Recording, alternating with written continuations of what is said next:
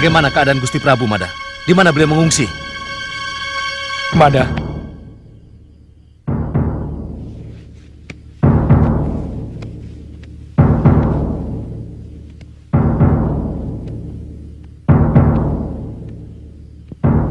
Gusti Prabu tewas di perjalanan.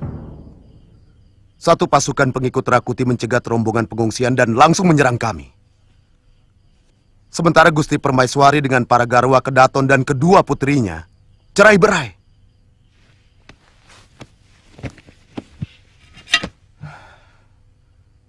Saya tidak mampu mengalahkan mereka.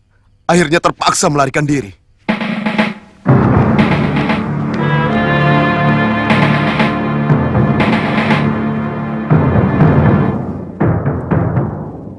Kenapa tuan-tuan bersedih? Bukankah tuan-tuan seharusnya bergembira karena Raja Lalim itu telah tewas? Tutup mulutmu, Bayangkari. Pengabdian kami tidak seperti kalian yang membabi buta. Dan akhirnya malah membuat Gusti Prabu tewas di tangan pemberontak itu. Apa salah jika kami membela junjungan kami? Kami rela mengorbankan jiwa raga demi keselamatan Gusti Prabu. Sementara tuan-tuan di sini mau bekerja sama dengan pemberontak. Bukankah tuan-tuan sekalian mendukung Rakuti menjadi raja? Kurang ajar. sabar kembar. Sekali lagi kamu bicara seperti itu, kubunuh kamu, Mada. Dia bukan raja kami. Apa yang dikatakan Pumada benar. Karena dia tidak tahu bagaimana bersiasat. Mada, kalau kamu belum mengetahui apa yang sesungguhnya terjadi, jangan sekali-kali berani mengatakan bahwa kami di sini tidak setia kepada raja. Kami, seluruh krian dan para adipati, tetap setia kepada raja dengan cara kami. Tanya Adipati Suranata. Benar, Empu Mada. Saya sudah menghubungi seluruh adipati sampai ke Tuban dan Sedayu. Mereka masih tetap setia kepada Gusti Prabu Jayanegara. Saya akan menyerang dari pintu rahasia yang langsung bisa masuk ke Tilam Sari Raja. Saya yakin tidak semua orang tahu jalan rahasia itu. Lewat jalan ini kami mengungsikan Gusti Prabu waktu mereka menyerang ke Daton. Bagus. Pasukanku akan menyerang rumah Rayuyu dan Rawedeng. Saya menyerang rumah Rapangsa dan Rabanya. Aku dan Lembu Petang menyerang istana dengan 300 prajurit. Nasihati seluruh prajurit kalian. Kalau prajurit Rakuti menyerah, jangan dibunuh. Kasihan. Mereka cuma alat. Mereka tidak tahu apa-apa. Yang penting, semua pemimpinnya harus bisa kalian tangkap. Atau kalau perlu dibunuh.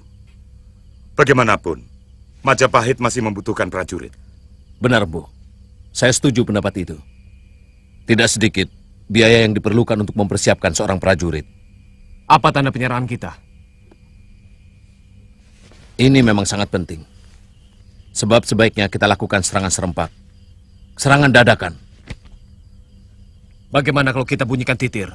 Ya, itu bagus. Suara titir akan membuat pasukan Rakuti menjadi bingung. Kalau kita benar-benar mau melakukan serangan dadakan, aba-aba dengan titir saya kira kurang tepat. Karena bunyi akan membuat mereka waspada.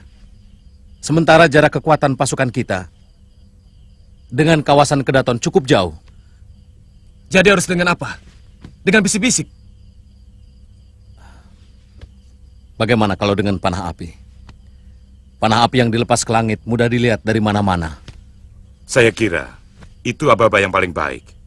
Tidak semua aba-aba harus dengan bunyi.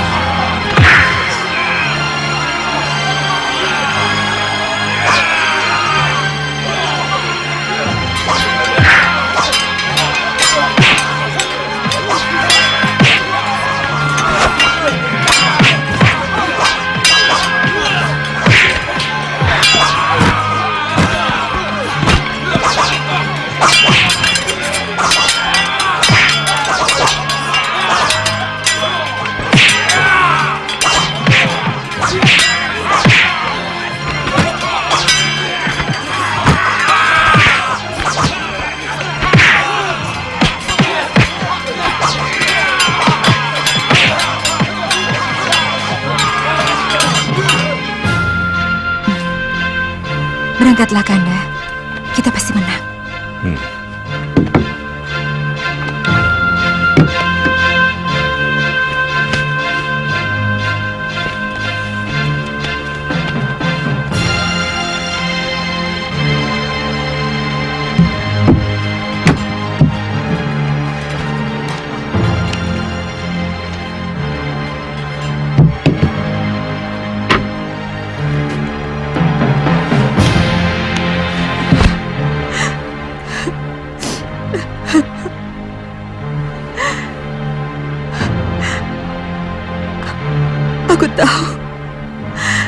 Kanda tidak akan mampu melawan suratan dewa.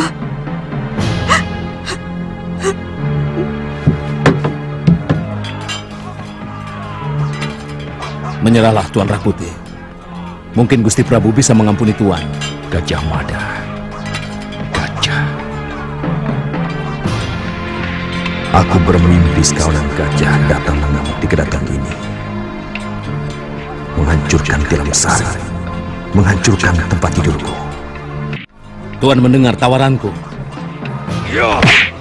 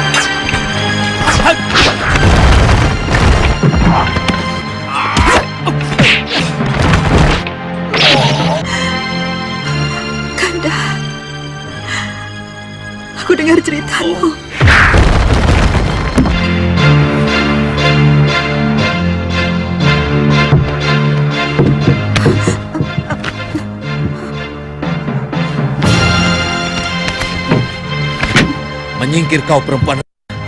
Jangan kotori tilam sari rajaku.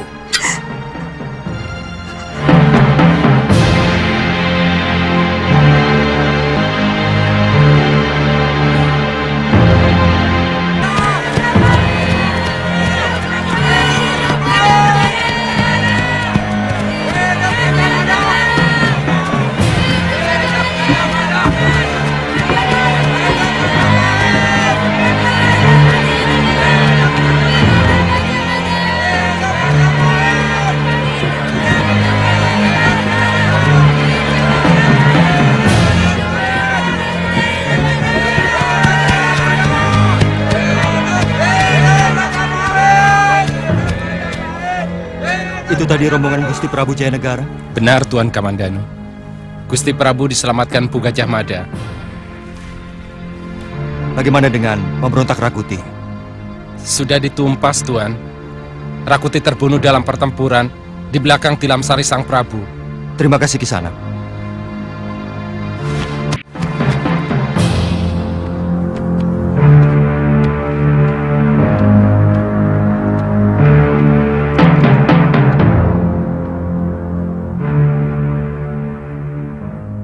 Rakyatku, dan seluruh pengalasan Wilwatikta,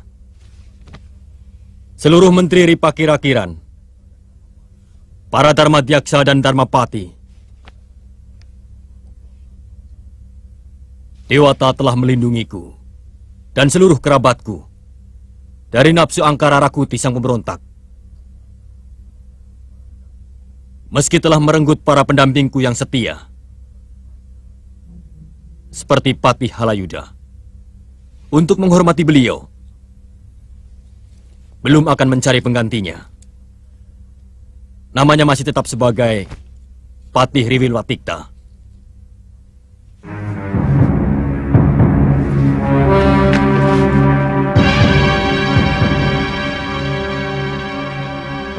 Mulai hari ini, adikku, Tribuana Tunggadewi Jaya Wisnuwardani akan pindah ke Kahuripan sebagai betari di sana. Dan adikku Diahwiyat Raja Dewi memerintah di Daha yang akan didampingi Patih Arya Tilam.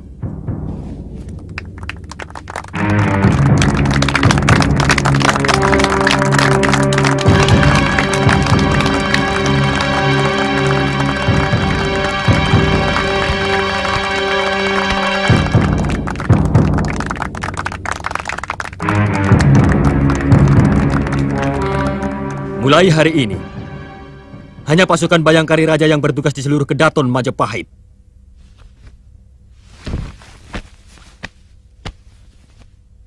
Dan kutetapkan Empu Gajah Mada sebagai Manggala Bayangkara.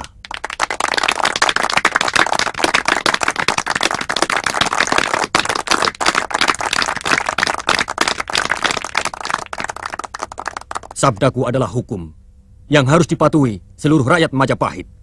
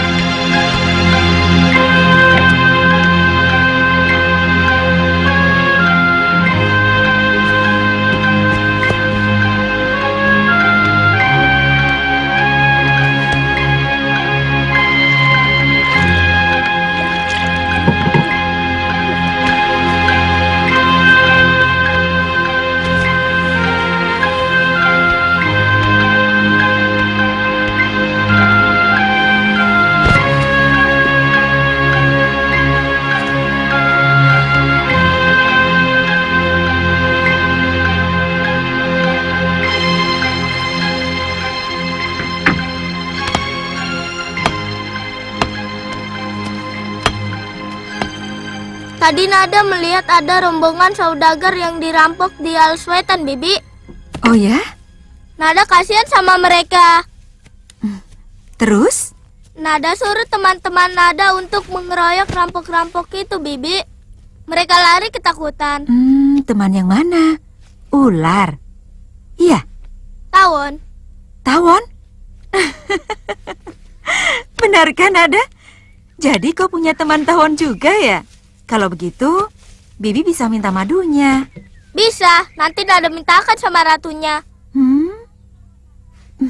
Bibi mau menolong Nada.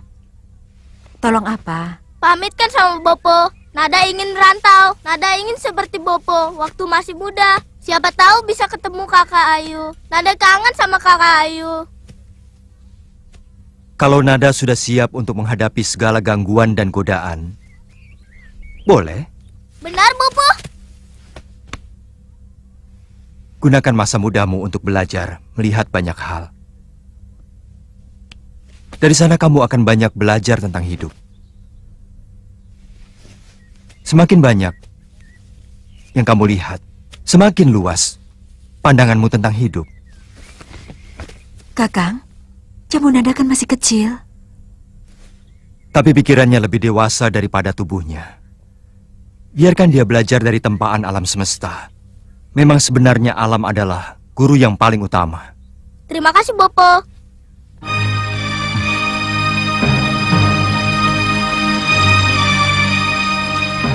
Zaman kita sudah harus berganti. Yang muda harus segera tumbuh, sementara yang tua harus mempersiapkan diri untuk menuju kehidupan selanjutnya.